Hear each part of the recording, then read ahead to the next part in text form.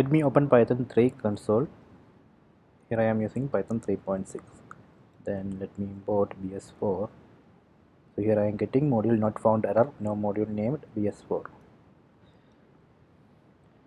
so i am going to install bs4 for python 3.6 for that we can use pip package manager. So first we have to install pip3 in ubuntu or debian machine we can install pip3 using this command sudo apt install python 3 hyphen pip. Okay done. After that we can install bs4 using this command sudo python 3 minus some pip install bs4 can see it's downloading bs4 okay installation success. Now if you want to see where it installed bs4 we can use this show command. So this is the location.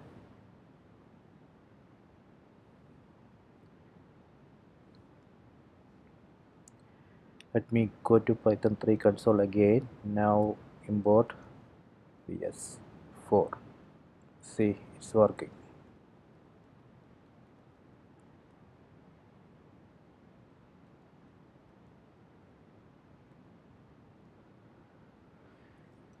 so if you want to uninstall bs4 you can use this command python 3 hyphen m pip uninstall bs4 type y and press enter. Okay. So please subscribe my channel if you like this video